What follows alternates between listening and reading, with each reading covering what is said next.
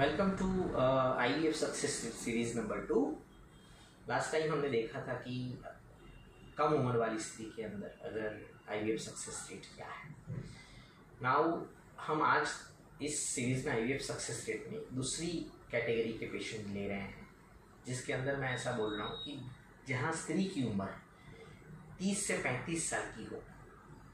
और अगर जो अंडेदानी हैं, उसमें से स्त्री बीज की संख्या अगर पाँच से दस के अंदर ही निकले, उम्र ज़्यादा हो, अंडे कम हो, और पुरुष का विले का रिपोर्ट हम मान लेते हैं कि अच्छा है, यानी कि एक मिलियन से ज़्यादा है। ऐसे कंडीशन में मैं इतना कहना चाहता हूँ कि तीस से पैंतीस साल के अंदर अगर जब आपके पाँच से दस के अंदर ही अंडे निकलते हैं तो आपका average success rate thirty two forty five percentage होता है। अगर आप फ्रीज ऑल ट्रांसफ़र करोगे तो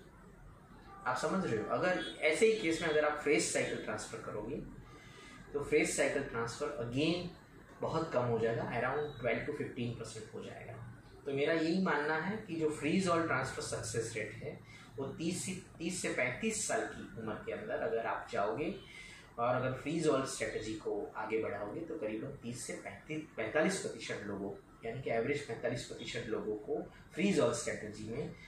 प्रेगनेंसी रेट मिल सकता है। अगर आपकी उम्र तीस से पैंतीस साल की उम्र में है और वीरे का रिपोर्ट नॉर्मल है